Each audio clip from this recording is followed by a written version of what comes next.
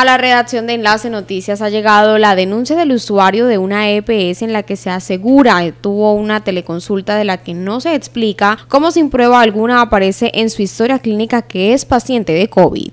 Resulta que yo pedí una cita general para que me autorizaran una resonancia de columna porque yo tengo trastornos discales lumbagos.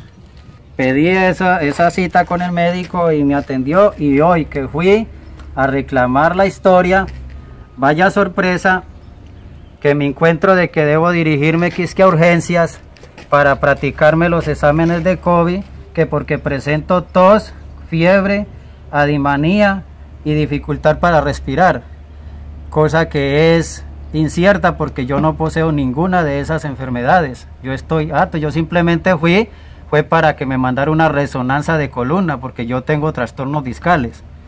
Únicamente eso. Entonces, no entiendo de dónde sacó este doctor. Estoy completamente sano. Yo no tengo nada de esos síntomas que él, denuncia. Ningún síntoma. No tengo tos, ni tengo fiebre, ni tengo dificultad para respirar. Nada de esas cosas tengo yo. Entonces, no sé, no sé. Yo quiero que ese médico analice muy bien qué fue lo que hizo en mi historia clínica porque yo no puedo admitir de que él me dañe mi reputación con una enfermedad tan delicada como está sucediendo actualmente. El usuario de la salud pide a su EPS que se le explique el porqué del diagnóstico de una enfermedad que según él no padece.